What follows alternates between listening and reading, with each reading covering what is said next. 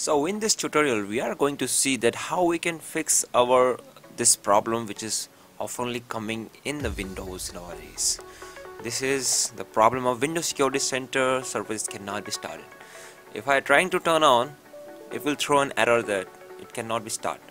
So for fix this issue we have to do that press the window R which is a Windows run command type here Windows underscore MC Windows Windows services yeah, services.msc it will open up the all services running behind the windows. So you have to just locate the security center right now. Just scroll down scroll down. Okay. Search here for a security center. Uh, over here.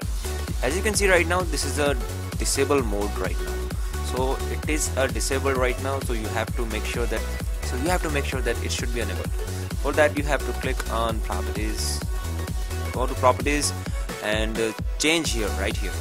Go to automatic delayed start. Just put it right here. Apply this first then click ok. Now you will see the status has changed. Let's try again to turn it on.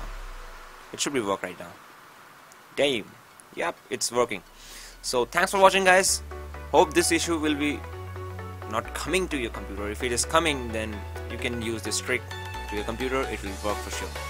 Thanks for watching. Don't forget to subscribe my channel guys because it's more important and give a big like in this video because it's a very common issue that comes in windows nowadays so thanks for watching. This is vijay kumar signing off from the tech nerdy. See you in the next tutorial